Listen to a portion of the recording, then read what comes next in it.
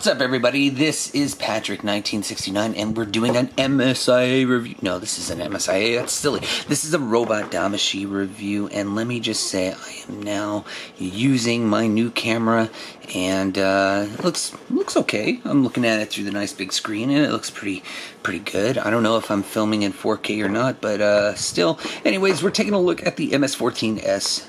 I guess the S is special. I don't know. Uh. Now this is Char's custom Gelgoog. It's red instead of its weird grayish color. But uh, this is a Robot Damashii or Robot Spirit, however you want to pronounce it. Uh, number 238 in the Gundam line. This is uh, from the original Mobile Suit Gundam. And let me just say, uh, I haven't really taken a good look at this figure, but, uh, you know, testing out this camera, I decided why not do it on camera and have it all just recorded.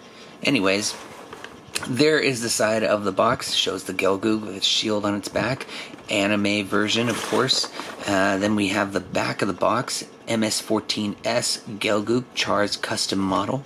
Shows the figure in all its uh, little dynamic poses, some of its articulation as well, and some of the scenes that you've seen. Oh man, this mobile suit in the anime. Um, so now we take a look at the other side. and then we see all the uh, panels showing all the features. Uh, I guess the Gyan uh, will be coming out soon, so you're going to be able to battle the two. And uh, that's pretty much it. So let's go ahead and open the box and take a look inside. First thing I want to go ahead and throw out there is that this fucker is huge. Uh, not only do we get the uh, clamshell that has the figure itself and its accessories, but we get another shell, uh, a little smaller, thinner one, with more accessories. Wow, that is a lot of uh, beam effect parts. That is really cool. Well, here he is, and I have to say, he doesn't look half bad. Looking at this figure, you know, he's not as chunky as I had imagined. Uh, all I can really go on is what I remember from the original MSIA version. He was kind of fat in the midsection. The skirt armor kind of pointed out a little more in the back. But uh, no, not at all. This guy is a little bit slimmer, a little bit tougher looking, and this is definitely the anime version. Uh, not a whole lot going on in terms of sculpt. We got vents around the skirt midsection there. Uh, I think this was the cockpit right here in the middle, uh, and then we have some vents up top. Huh. Yeah, not too much going on really. It's uh, it's basically a red Gelgoog. Surprise, surprise. Wow. So, anyways, I hope you can tell uh, and see all the nice details on this figure with the new camera at work. Uh, looking at it through the screen, it looks pretty damn good. Wow, I'm really impressed. And uh, yeah, there's the head. Not too bad. Let's get a little bit closer. Yeah, I like it. Let's go ahead and move into accessories. Oh boy, I might have to be really quiet because we have company in the other room, but I'm gonna try my best not to uh, not to go too crazy. Uh, anyways, uh, looking at these accessories, you can see some of them on the screen. Wow, we get a lot. Let's start with the basics, shall we? Of course, we get the uh, old trusty shield here, and it does have a nice little handle that's on a ball joint there. Uh, not too uh, hefty, pretty thin actually. You know what? I'm always thinking back to that MSIA version where it was all big and thick and fat, and that's what she said.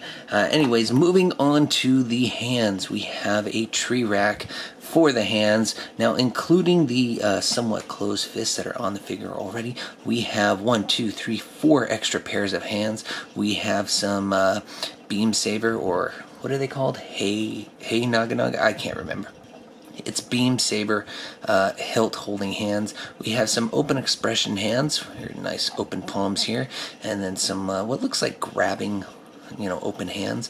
And then we have some sarcastic air quote hands uh, shown here, and of course you can also be used to hold a beam rifle. But uh, you know what? I like sarcastic hands more. Speaking of beam rifle, though, look at this one right here. Man, and it always goes back to that MSIA version. It looks a hell of a lot smaller and uh, shorter. No, I should say shorter because this is considerably larger than the uh, MSIA version. But this looks shorter than the original, than what I we remember. But uh, nice hefty. The scope is painted. We'll bump the camera a little bit. Moving on, we have the Beam Saber hilts or Hey Naga Naga or whatever the hell it's called. Now we have three different modes here. Let's see, can I get them on correct portion? Yeah, there we go. All right, so we have the deactivated version here where I'm assuming you put use this version to uh, store onto the mobile suit. Put that off to the side. We have it Okay, then. Uh, we have the, um, what I'm assuming is more of the Beam Saber Sword uh, variant or uh, mode, as you will. So that's where it's a little bit extended and a little bit longer. And then we have the long extended version uh, that has uh, longer, thicker blades on either end.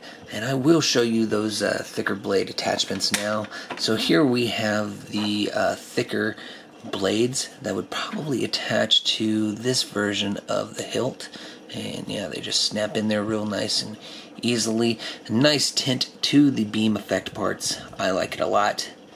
Not too bad let's get that in frame yeah it's pretty cool and I'm assuming they're pretty fragile whoa didn't know that came apart uh, so be very careful with your own figures effect parts I just dropped mine wow Brilliant. Oh, there it is. All right, moving on. Let's go ahead and get the uh, medium size beam hilt. And let's put in the beam saber sword effect parts. And uh, we'll just put it on both sides. And I can't, there we go. So yeah, that's how that looks. Not too bad. Can you break this apart too? Yep, you can. Look at that. Cool. Now, you would think that'd be the end, right? Nope, you're absolutely wrong. You get another pair of beam effect, beam saber effect parts. That's what I'm gonna pretty much call these. These are to recreate the swooshing motion. So you would get your long, oops, long effect part here. Attach it there, and then we go ahead and we attach it to this side here, and there you go yeah, recreates that swooshing, whoosh kind of, kind of, you know, effect. You know, going at the Gundam like that. Anyways, last but not least, we do get some uh, uh, thruster beam effect parts or thruster effect parts, uh, like shown or like so like shown. God, I can't talk. Uh, probably why I shouldn't drink before reviews. Anyways, uh, we get four of these thruster effect parts. We've kind of seen them before. I mean, it's the same attachment piece, but these are just kind of a little bit bulkier because these can fit either onto the uh, figure's feet uh, or pretty much just the feet or maybe underneath the skirt on those thrusters.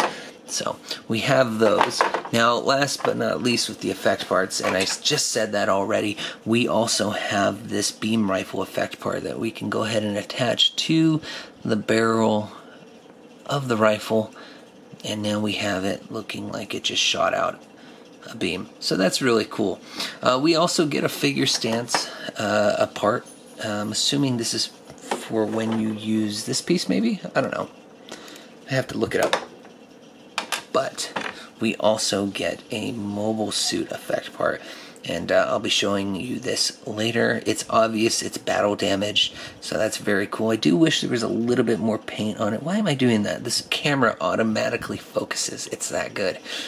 But yeah, I just wish there was more paint on it, and you can see all the detail there. Very nice. Let's go ahead and go into articulation for the figure, shall we? Now, one thing I forgot to mention is that you do also get an extra captain's crest or captain's antenna for this uh, unit with the accessories, but really, that's boring news. Uh, who cares about that? And uh, you'll probably just lose it anyways, like I uh, assume I will. Anyways, taking a look at the uh, articulation here, this Gelgoog has pretty much exactly uh, what you'd see from a high high grade version. Uh, starting with the head, we get a full 360 rotation. Uh, you do have the option to take the top off and move the mono eye around. It's a little stiff because I did just take this guy out of the package, but his eye can move. Let's go ahead and put that back on.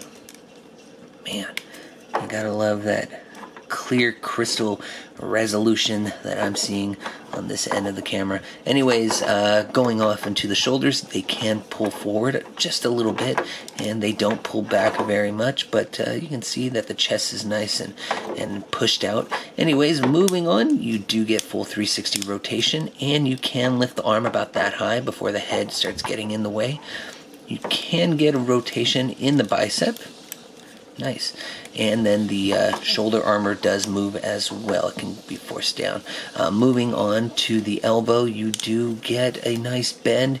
And yeah, there is kind of a double joint action going on. So you do get a double bend in the elbow. Uh, does this come off? Yeah, it does. Look at that. Just like the MSIA version. So I'm assuming that is when you had the Gelgoog Cannon release. Uh, web shop exclusive I think it was.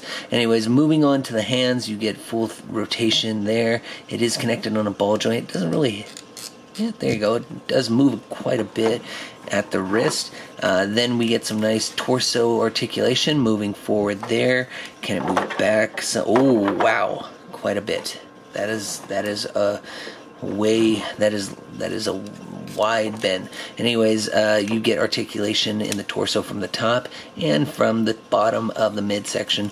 And then uh, moving on to the legs. Does this skirt armor move? Not really. Wow. Oh, it does move. Look at that. So you can have a nice high kick like so, and then you get a double bend in the knee. Wow. Okay. Yeah. So there is no articulation in the leg uh, meeting the hip so you can't really move it, but you do get uh, you get some movement right there at the ball joint, meeting the uh, the leg and the hip.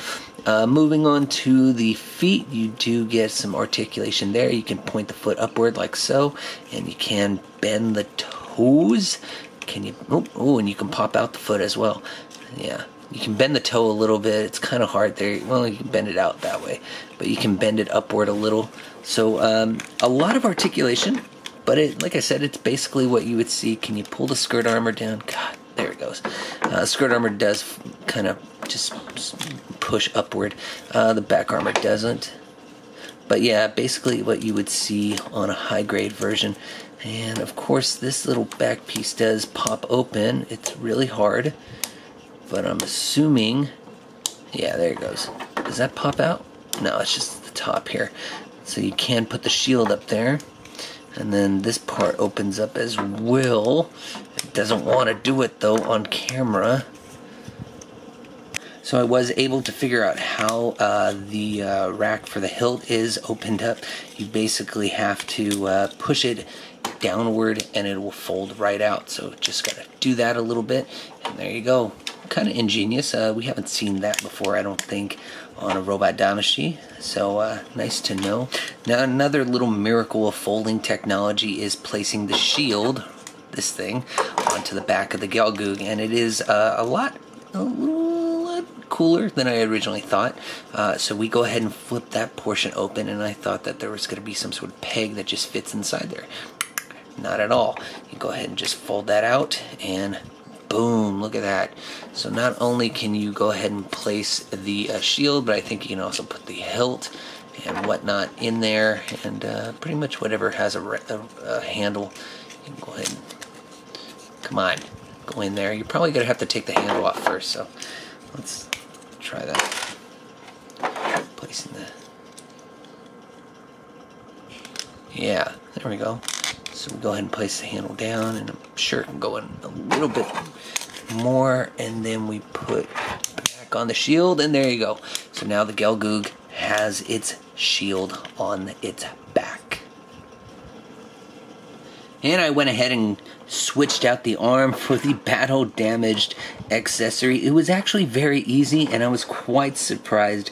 But there you see Char's Gelgoog battle damage and I'll show you how to replace the arm and uh, or take this battle damage piece off and put the arm back on. God I hope I can do this on screen. So anyways it's as simple as popping it off the ball joint. That's all you gotta do. And then you go ahead and you just snap that back on and wow. Okay that's on. That's that's amazing.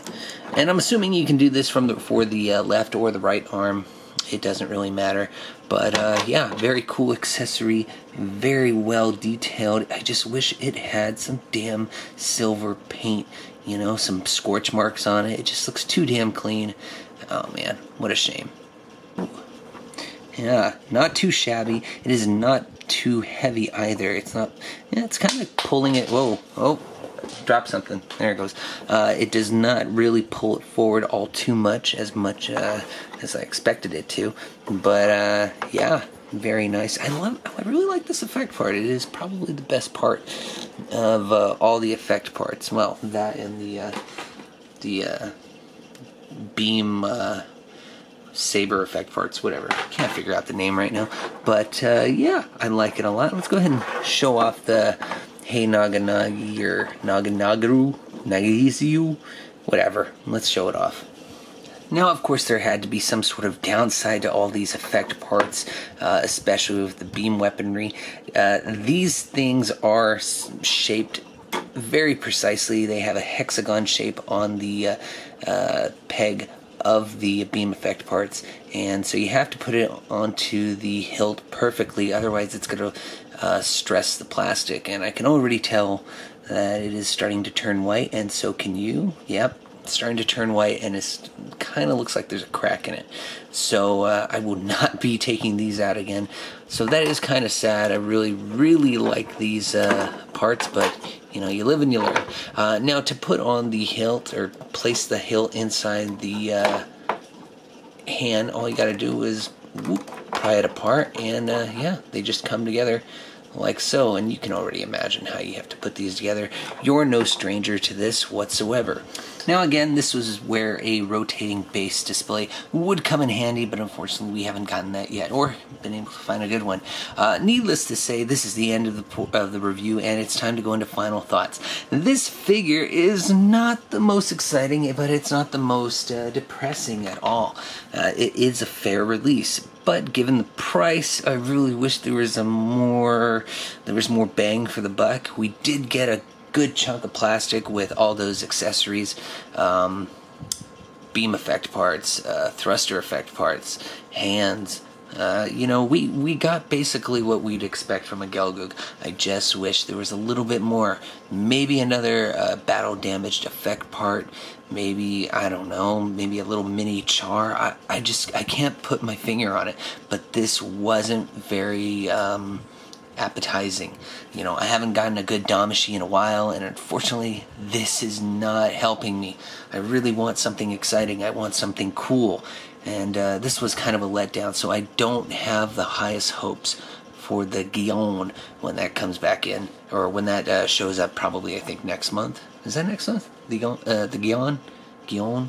I can't. I can't say it without putting a funny little thing at the end of it. Uh, but anyways, this was a fair release, and it was, I guess, a pretty um, good choice to test my camera out on.